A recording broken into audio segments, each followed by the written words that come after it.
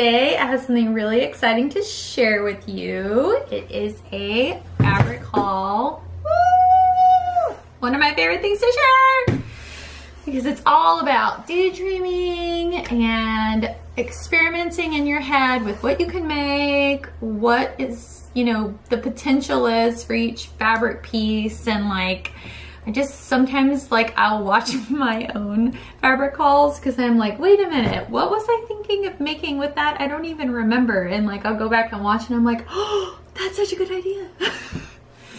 Not to toot my own horn, but anyways. Um, I have a lot of fabric coming in and I will be doing fabric hauls with that later, but this is just kind of like my first order. Um, it's just some stuff that I ordered probably around my birthday, I think was like April 12th um, but I ordered it around then. So um, there are three stores here. So the first thing I'll go through is what I got from Lamazi Fabrics. Y'all know I love Lamazi Fabrics. She has such a nice collection of fabrics. Everything is super high quality. She carries um, all of my favorite brands like See You at Six, Atelier Brunette, and then like the Lamazi fabrics themselves are really nice. Um, really, really just nice selection. So I like to go to her store because I know that I'm probably to like almost everything on there. so I don't have to search around too much. Um, so this first up is a Mind the Maker. Um, it's a coral viscose twill um, like dress fabric. And it's really pretty. It's very drapey, has lots of movement. I almost didn't get this colorway because I think there's like a, a, tan colorway or white color colorway because um, it's a little bit uh, darker. So it kind of reminds me of autumn but I've started to kind of break those rules a little bit because I some of this fabric is just so beautiful and I want to sew with it anyway. And if I mix it with something else like um, that looks like spring or summer, then um, it can change the whole look of the outfit. So it doesn't really bother me that it's um, more of a fall color. Um, and so I have a couple of ideas, but this is probably going to change. But this is just us daydreaming together. Um, I have this Elbe Textiles Cornell shirt, which is just a button-down shirt. Um, and it is really good for just a casual shirt with like a pair of jeans, but like it still looks nice nice because it's a button down. Has like a mandarin collar, which I kind of like. I think it's a little bit more relaxed and modern sometimes. Um, and yeah, so I really want to try that. So maybe this will be a good thing for that. You'll notice for this fabric, I'm just keep thinking of button down shirts. I don't know why. Like you, when you look at it, you think probably a dress, but apparently I, I want a button down shirt who knows? Um, here's another one. I just got this shirt and haven't made it yet. It's called the Vlada shirt. I think that's how you say it, but I'm not sure.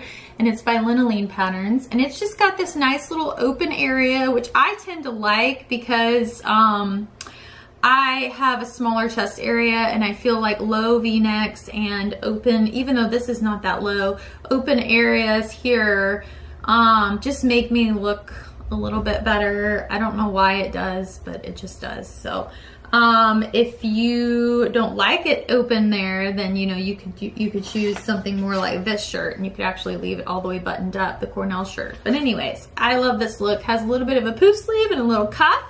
So I thought that would be nice. And this, once again, is almost exactly the same. This is like a v-neck. I've made this before in a black grayish linen.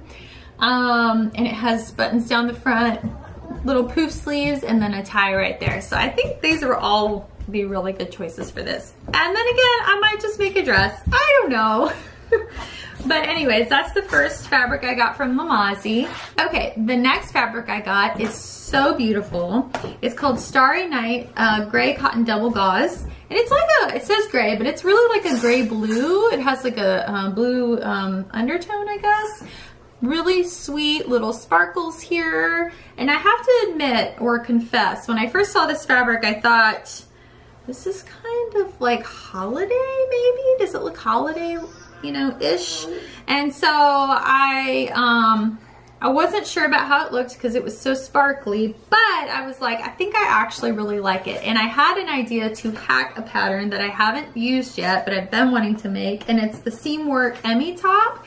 It's basically like a simple, like peasant top with like the, you know, little gathered neckline with a little string, you know, that that's passing through it and that just hangs down with an open kind of v-neck feel. Little um, puff sleeves, but not too puffy, just more like a relaxed puff. But I thought it'd be really cool to make this, shorten it a little bit, put like an elastic there and then um, have it go down and be a dress and maybe have like slits on the sides or something like that. I thought that that would be really pretty. Or I might make it like a midi um, length dress with like a ruffle on the bottom or something. I don't know. I just kind of want to play with this top and I think it'd be really pretty in double gauze, but we'll see. Um, so that was also from Lamazi Fabrics. So the next fabric is beautiful. It is a striped cotton and it has these embroidered hearts on it. Um, so it's just called embroidered cotton blouse um, stripes blue and I've got two meters of it. It's so pretty. Look at those hearts. Okay, I am like a sucker for hearts. I love hearts on everything. I love them on my ears as earrings. I love them on fabric. I love them yeah, that's about it. I just love them. So I think this would make a really good ready to sew Justine skirt because I really love this pattern. I keep coming back to it and the stripes would be so awesome as a as a um, straight skirt with buttons down the front, like red buttons or something to match the hearts. Like I would love that. Now I do have a tendency to make things like skirts and pants and shorts and things like that out of um, like busy fabric. so I really need to start making um, garments that are solid colors so I can mix and match. Like for instance, if I actually did just make a top out of this, it would probably go pretty well with this skirt. But anyways, just something I've learned about myself. And I learn it, but then I never learn because I keep doing the same thing. But it's fine. Um, okay, so the next thing from Lamazi Fabrics is, uh-oh, hold on, got it. All right, so it's something I've already made um, and I absolutely am in love with it. Um, it is called a Lobelia, I think, cotton twill. And I made some Winslow culottes out of it. It's hard to see, so it's gonna be much better when you see them on. But they are gorgeous. They have a um, invisible zip and they kind of have these pleats here and they flare out. This is a pattern that I love and I visit over and over. Um, and I plan on making many more pairs of shorts, preferably solid. But for right now, I just have these and this is beautiful fabric. It kind of feels like a cotton lawn. I thought it was gonna be a little bit thicker, but it still works perfectly for this um, pattern. So that is already made and I just got it in the mail. I just could not wait to make it. So I wanted to show you that. Um, one more from Lamazi Fabrics. Let me pull it out. All right, so this is some Atelier Brunette, which I can never pass up Atelier Brunette. Um, it's Sunset Night Cotton Crepe. And it's got these little suns here. It's very, very, very beautiful. It's like feels like a double gauze and it's got it's got it's a little bit see-through. So I had a couple of ideas for this. Um, one of them I actually did not get out, but it's called the Violet Dress, I think by Republic de Chiffon.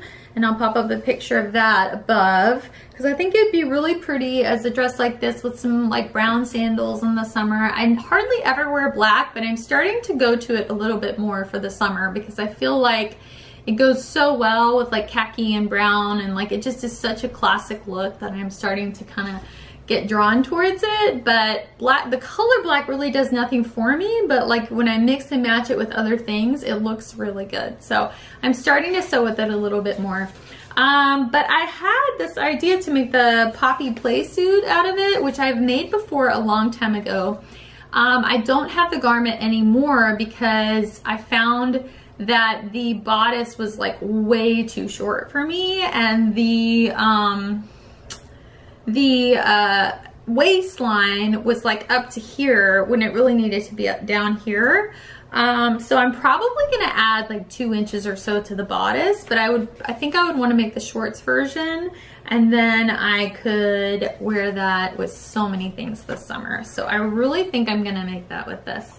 So that's everything from Lamazi. Now I'm gonna move on and go to a store from Portland, that's in Portland, Oregon. It's called Sewing Studio and I shop from her all the time um, and I met her in person. Her name is Carlene and she is lovely. But the first thing I got from her is this linen with these tiny little like printed daisy looking flowers, I guess. Um, I don't know why I fell in love with this, but I thought it was so great. Love the color for summer. Um, and the first thing I thought was just like a simple summer dress, like with very simple lines and, you know, just something that like is light and breezy. And so the first thing that popped into my head was the Demeter dress by Anna Allen Clothing. I've made the shirt and I love the neckline. I like wide necks um, and that's kind of what it was. And so I think I really like the dress and it would be nice and floaty and like cool for summer and I really like thought of that. So I think I'm gonna make that or something very similar, the peppermint everyday dress, which I haven't made yet, but I've been wanting to make. Um, and it is um, a pattern that I've print out that I've got to still stick together but it looks really simple and really nice. So I think I might want to do that one also, but we'll see. Um, so that's that one. That one was from uh, Sewing Studio. Another one I got from Sewing Studio was this cotton black and white clip dot. So I don't know if you can see, once again, it's black fabric. I don't know what's happening to me or what's coming over me, but um, so it's these black clip dot things. And so it's like they've, you know, sewn something in and then clipped it off and then it's like just frayed at the dot. Um, and it's really pretty and it feels really nice. It's got these dots, but they're not like, they don't bother you. Um, and it's smooth on the inside. So I don't know why, but I have made a Pipit loungewear set recently by Common Stitch and I absolutely loved it. And so I don't know why, but this was calling to me um, to be loungewear and specifically be pajamas because I just thought that it would be really pretty. Um, and so with like, of course, some pretty like pearl buttons or um, like mother of pearl buttons or maybe even like some brown buttons I was thinking would be good too but there's white here so I don't know if I'll like that. I'll have to hold up some buttons and see. But anyways this is I forgot to hold the pattern up. This is what it looks like and yeah, so I might do that. I have a couple of other ideas for it, but um, I still might change my mind. So anyways, moving right along. So that's everything from Sewing Studio. And I did order from her again in my second round of things that I'm going to talk about for my fabric haul in another video. So you'll get to see what I ordered from her more recently. But next is another fabric store I am in love with. She has amazing prints. Um, she has a lot of cottons. She has a lot of Georgette. She has a lot of um, stretch chiffon and things like that. Um, uh, some of it or a lot of it is polyester, but it's like really nice polyester. It hangs really well. It seems to be breathable for me. Um, so I tend to purchase it if it has a really good uh, print on it. And she has the sweetest prints. And so I recently got this one, which I love. I don't think I could ever, ever, ever get enough tiny little flowers in my fabric stash. Fabric stash.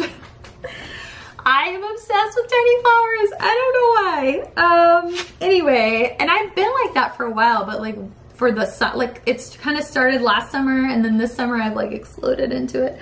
Um, but this is called Cozy Ditzy Floral, and it's from Alyssa May Design. These are little cards I make, by the way. That's what I'm reading. Um, just so I can know where the fabric is from and what it is. Um, and I have two yards of it. So I was kind of thinking of making another sagebrush top, which I have already made one that I've posted and I have another one I've made into something really cool and exciting that I'm gonna blog about and haven't shared it yet. But I also have um, plans to make maybe a dress out of this top. And so I was thinking if I had enough, which I don't know if I will, but it's pretty wide, um, I could make this and then I could crop it just a tad, just like I was gonna do with that other um, top, with the Emmie top. Um, and then I, well not crop it, okay, so I would make it really long actually, but I would appear to crop it, and this is what I meant with the Emmie top as well, with like a little elastic lace or something, uh, waist, ex excuse me, a little elastic waist. Um, so then it would just be like a dress, but I kind of want to cinch in at the waist a little bit. So I may do that. I've also seen um, some ways that you can put like little ties that come out on each side to cinch in the waist. That's kind of a fun idea too, and I might think about doing that. Um, what you have to do typically, I just made a dress like this. You put like little buttonholes and like some bias binding on the inside and then you just like pat, you put the buttonholes on the front and then you pass the ties through and then you can tie them at the side. You pass one in the back and one in the front. So that's a cool way too to have um, some detail. And then I could, I'll probably just leave a, the hem plain or I might add a little ruffle. We'll see. I love ruffles. anyway, just some thoughts, but I, is this one of those fabrics where like I want to use it for everything. So I think that it's going to change probably about 20 times before I decide. Just being honest. um, this is another thing I had considered for that fabric is to make this McCall's M8001 in DC. So I've also thought of making that with it. Um, last thing I'm really excited about. Guess what's on it? Da da da da! Hearts. surprise, surprise. Okay, so I got um, this from Alyssa May Design as well. It's Chambray Hearts cotton. Um, and it's 58 inches wide, which is pretty wide. Two and a half yards is what I got. I think I was thinking I might want to make a dress out of it, which I might still do. So this is the first thought I had was to make View D in this McCall 7946. Um, but I really like, I really like View D because I really like the bottom ruffle, but I don't like the three, it's like three layers of elastic like tunneling inside. I don't really love the look of that and I would rather do sh elastic shirring if I could. So I might change that to shirring and I might put the elastic at the top or just shirr it at the top and then leave like some room without shirring for uh, my chest area and then shirr like in the um, the waistline.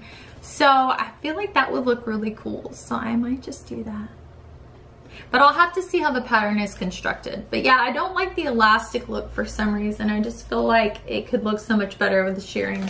But anyways, um, oh, one more idea. I really want to make this top. I'm so dramatic today. I really want to make this top uh, Republic by Republic de Chiffon. It's called the Ilda top.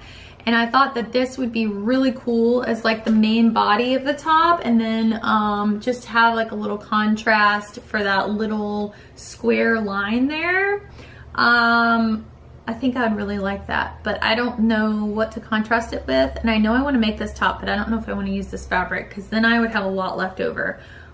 But, however, I am not feeling near as guilty about having fabric left over anymore because I have a little fabric hoarder slash dealer named Emma Smith who's 11 and she is taking all of my scraps and making beautiful things with it and she's really gotten into sewing. In fact, I had to kick her out so I could video my YouTube because she won't get out of my sewing room.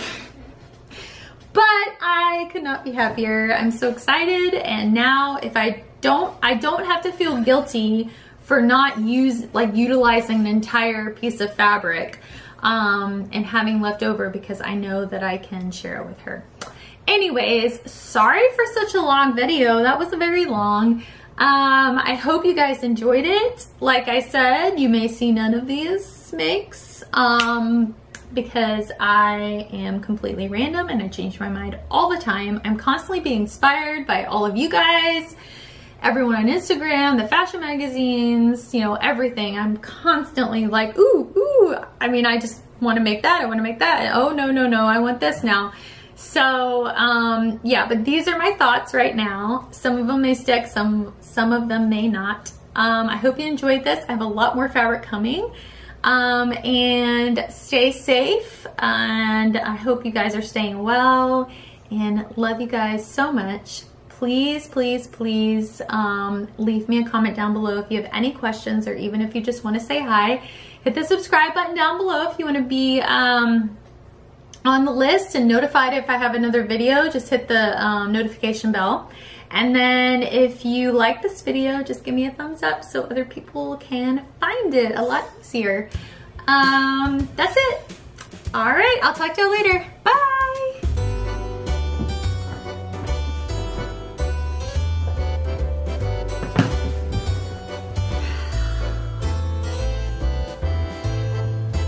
Wonder if you should change it because it's really bright. Nah, it's fine.